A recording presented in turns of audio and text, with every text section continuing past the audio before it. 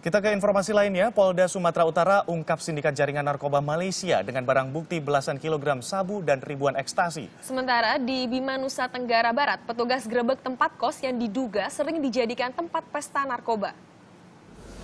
14 kg sabu dan ribuan ekstasi disita dari 14 tersangka sindikat jaringan narkoba Malaysia.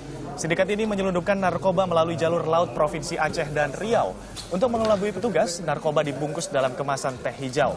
Polda Sumatera Utara saat ini masih memburu dua tersangka lainnya. Sementara di Nusa Tenggara Barat, Polres Bima menggerebek kosan yang diduga sering dijadikan tempat pesta narkoba. Selain tangkap enam orang, polisi juga sita alat hisap sabu. Diduga mereka baru selesai pesta sabu sambil berjudi. Dua orang pasangan suami istri yang ditangkap diduga sebagai bandar sabu.